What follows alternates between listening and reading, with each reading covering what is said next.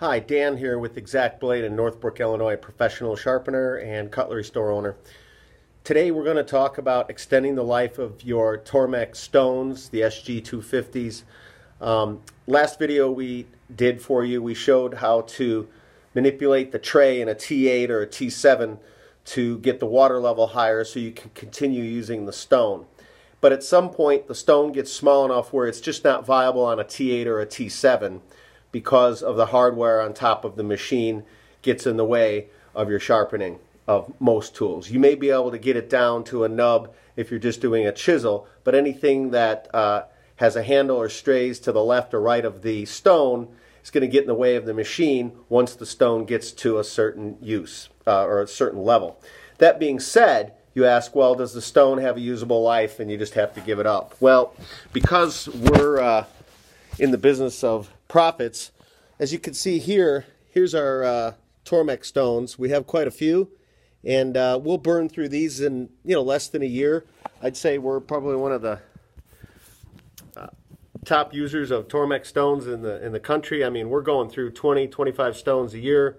Uh, that's how busy we are. So I said to myself, boy, we're leaving money on the table, so let's figure out how to use these stones. As you can see, there's a variety of widths, but take a look at this one on this little T3. We're right down to where it actually begins to uh, recede here on this, this bevel. And we're still using this stone. And what we did is we took the T3, we took two sanding sponges right here to raise the tray so the stone goes in the water, as you can see here. And you can see that the water is cascading on the stone.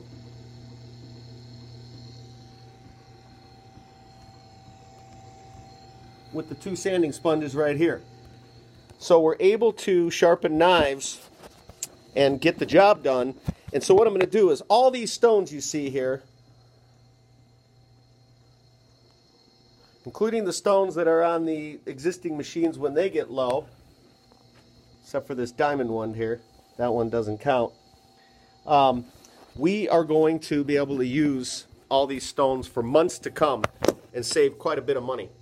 So if you want to take a look, I'll sharpen a knife for you real quick.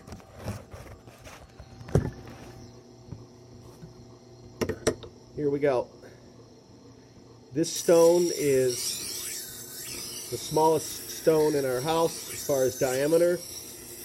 By the way, this is an SG250 stone on a T3. It does fit. As you can see right here, the arbor comes through just enough for the locking nut. I made no modifications, so I used a T7 T8 stone, or an SG250 if you will, on a T3, or even a T4 if you want. So you don't have to get the smaller stone. You can still use this wider stone on the smaller machine. It does fit, contrary to what the instruction manuals from Tormek tell you. And as you can see,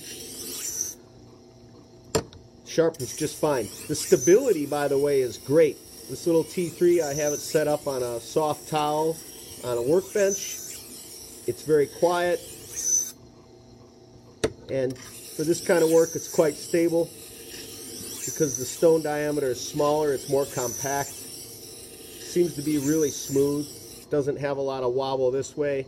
And it also stays true longer. The, the lower this stone gets, the truer it stays in between having to uh, true your stone or flatten it out. So as you can see, I'm sharpening a 6 inch utility knife to about a 16 degree bevel angle and uh, it's performing quite nicely. And it's not even getting in the way of the hardware. So even though this stone is that low, this hardware on the T3 doesn't get in the way. So now we can use this stone right down to a nub. That's going to save us a lot of money. As you know, these stones are upwards of 179 US dollars. And here's what most people are doing. They get down about this far, and then they're throwing it away or using it for something else. But we can get it down to this and even lower. So most people are getting it to this here we'll use up this entire amount right here. We'll, we'll get it almost to the uh, label. So just a way to discover how to save money and be efficient, if, especially if you're a professional sharpener and uh, you're doing a service for people. This is a way to save money and uh, without any major modifications other than two sanding blocks.